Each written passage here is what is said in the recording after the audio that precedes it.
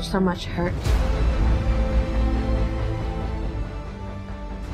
Someone once told me that the reality I thought I knew was just one of many. We can't do this alone. We need you.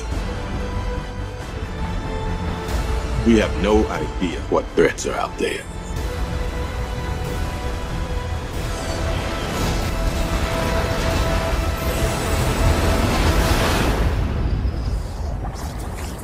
Hey, fellas.